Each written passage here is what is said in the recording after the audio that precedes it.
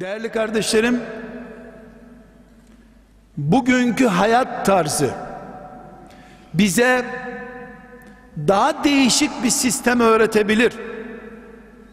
Bir elbiseyi ikinci sene giyme diyebilir. Sen memur olduğunda da bu evde oturuyordun zaten. Emekli oldun hala aynı evde oturuyorsun ya. Çoluk çocuğuna rezil oldun diyebilir. Allah Allah. 10 sene önce de otobüste gidiyordun sıla Rahim'e. Hala otobüste gidiyorsun. Doğru dürüst bir araba almadın. Diyebilir. Filancanın çocuğu filanca değerli yerde okuyor. Senin çocuğun hala hiçbir yer kazanamadı diyebilir. Onun çocuğu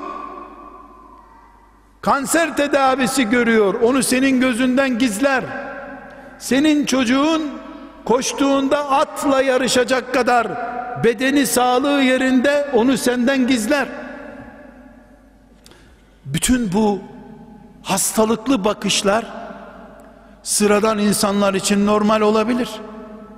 Ama şu dünyaya bir ağacın altında dinlenmenin ötesinde bir değer vermeyen bütün dağlar önünde altın olarak akıtılmasını isteseydi dağların altın olup önünde akacağını bildiği halde dünyanın bir meteliğine değer vermeyen bir peygamberin ümmeti sallallahu aleyhi ve sellem dünyalıklar üzerinden ve kısır menfaatler üzerinden değerlendirme yapamaz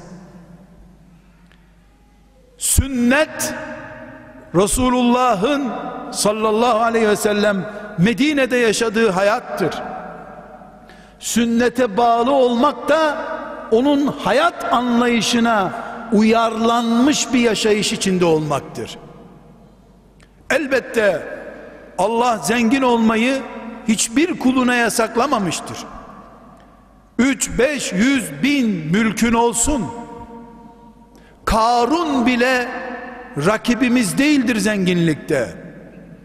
Ama nankörlük yakışmaz.